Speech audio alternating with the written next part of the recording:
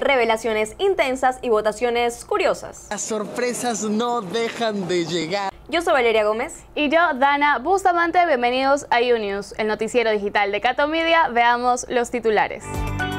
ADN solitos otra vez. En la votación por la reforma a la enmienda al artículo 138 de la Constitución, la mayoría arrasó con 94 votos por el sí, dejando al partido del gobierno absolutamente solito. Capturan a pareja sentimental de Fito. Y decimos pareja sentimental porque no es su esposa, chicos. Así como oyen. Y el Dani se va a conocer a Bukele. El presidente fue invitado a la posición del presidente del Salvador y ahí planea conversar con él.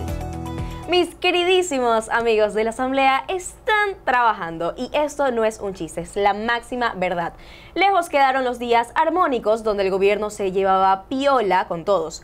Son tiempos de tensiones, gritos y encames tremendos, pero nada de eso queda grabado porque son aburridos. Lo que sí queda grabado es el voto y hoy hubo tremenda paliza legislativa al gobierno. Pero primero, contexto. Han tenido debates muy interesantes este año.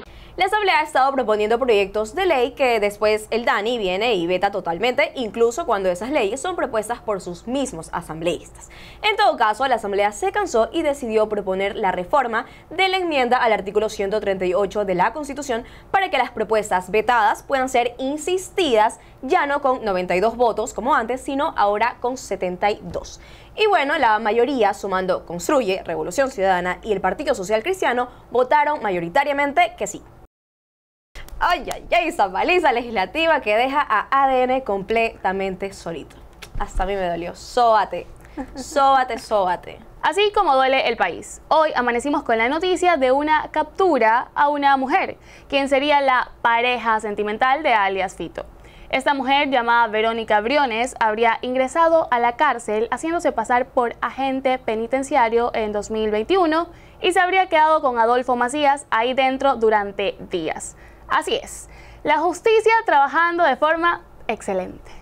Pero ese solo fue uno de los resultados de los 24 allanamientos que realizó la Policía Nacional el día de hoy, donde se hallaron armas, municiones, vehículos y dispositivos electrónicos. También se capturó a un delincuente con el alias más funable de la historia, así que si lo encuentran, déjenlo en los comentarios. ¿Sabes que a los 18 te puedes cambiar el nombre? No te vas a llamar Goku, Valentín. Y solo va a determinar la justicia. Y mientras tanto, Daniel mm, se va. Daniel el travieso. Daniel se va a la posición del nuevo periodo del presidente de El Salvador, Nayib Bukele. El Dani planifica, según su agenda, conversar con Bukele y tener una reunión bilateral. ¿Qué significará eso? No sabemos, pero ojalá. ¿Cuáles son sus diferencias con el presidente de El Salvador?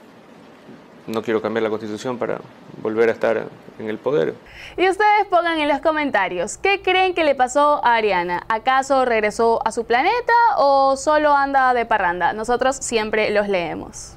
Y abracen mucho a sus amigos, así como este perrito. Un gran abrazo y nos vemos mañana.